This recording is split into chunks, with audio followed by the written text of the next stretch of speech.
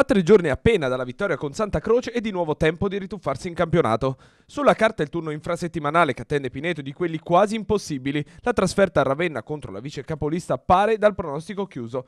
Il lato positivo però per i giallo-blu sta proprio nell'ultimo turno appena disputato, perché le parabole delle due squadre sono sostanzialmente speculari ma inverse. Quella di Pineto dopo il periodo nerissimo e in piena risalita, prove la sconfitta di misura nel Lazio e la rotonda vittoria con i toscani di domenica. Ravenna, allenata dall'ex Antonio Babini sull'altro fronte invece in piena involuzione di gioco e risultati.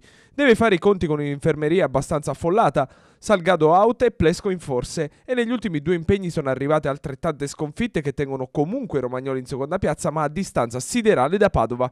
Quella distanza che invece Pineto alle 20.30 al Palacosta cercherà di ricucire rispetto alla terzultima Perugia, impegno relativamente semplice per gli Umbri sul campo di Roma, ultima della graduatoria. Per quanto riguarda la formazione non ci dovrebbero essere novità, con Calderani in regia, Stefanov opposto, Sborgia e Loglisci al centro e la linea di ricezione formata da Bosco, Cuda e da Libero Messana.